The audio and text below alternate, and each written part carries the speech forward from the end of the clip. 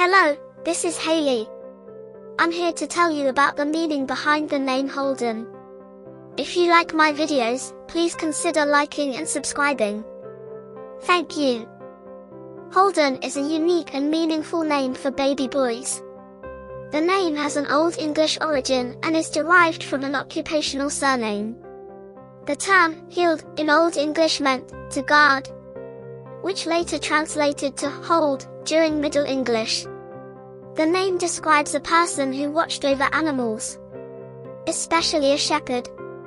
Over time, the term evolved into holder, indicating a person who held land during the feudal system in medieval England. Holden is not just a surname, but also a popular forename that was brought into the American consciousness by the famous author J. D. Salinger in his 1951 novel, The Catcher in the Rye. The story's protagonist is Holden Caulfield, a disaffected teenager struggling to find his place in the world. The character's name has since gained immense popularity. And Holden is now considered a unique and meaningful name for baby boys. Those with the name Holden tend to have a 4 personality type. They value stability and discipline and prefer to follow rules and be conservative.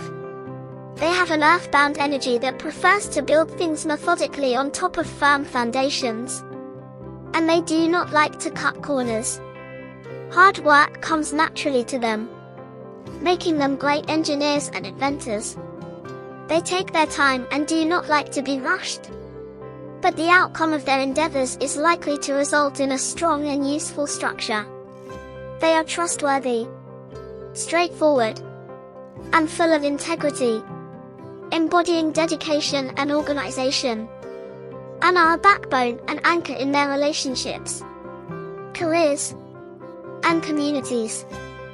Holden is a unique and meaningful name for baby boys, with an Old English origin and a popular forename bearer.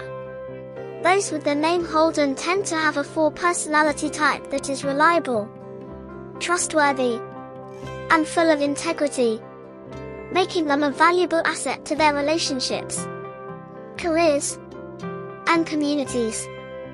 Thank you for watching.